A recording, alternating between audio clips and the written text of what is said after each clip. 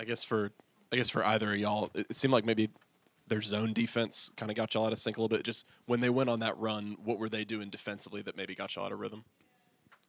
Uh, I mean, I wouldn't say that you know, they had a good zone. Um, they were very active in it, very scrappy. Um, but at the end of the day, we just we got some looks we wanted, um, and we just couldn't make a shot.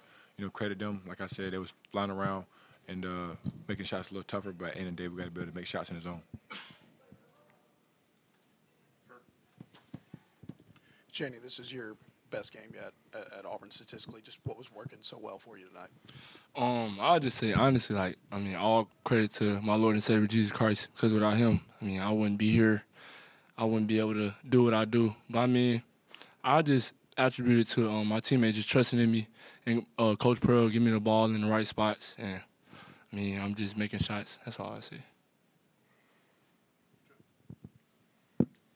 Shane, you wanted to follow up on that. 68%, I think you're shooting through three games, and they're not all in the paint there.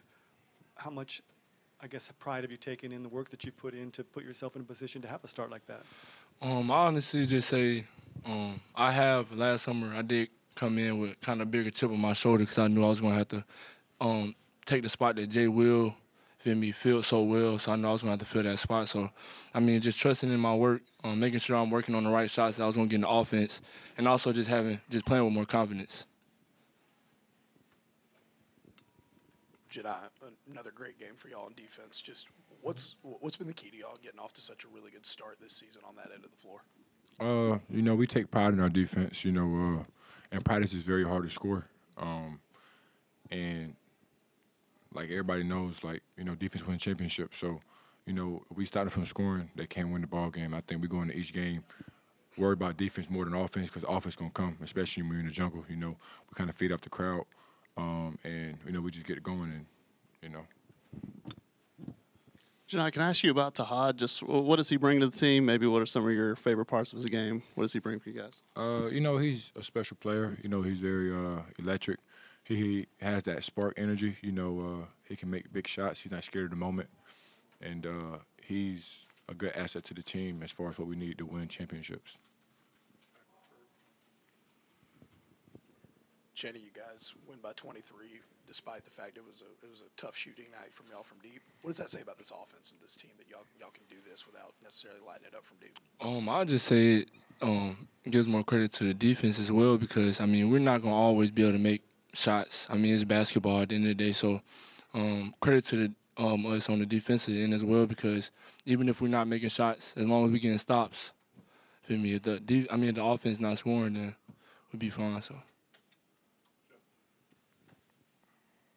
Both of you had four assists, so did Dylan, to share the team lead with Tahaad. Like, Johni, um, what, what went into that to allow the, the bigs to have four assists each? Right. Uh, you know, when BP walked in the locker room, he said, you know, we had a 12 to 2 ratio assist turnover.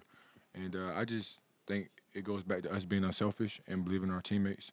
You know, uh, took what the defense gave us and was able to, you know, in, make inside out shots, inside out plays, and, uh, you know, our teammates were able to deliver for us.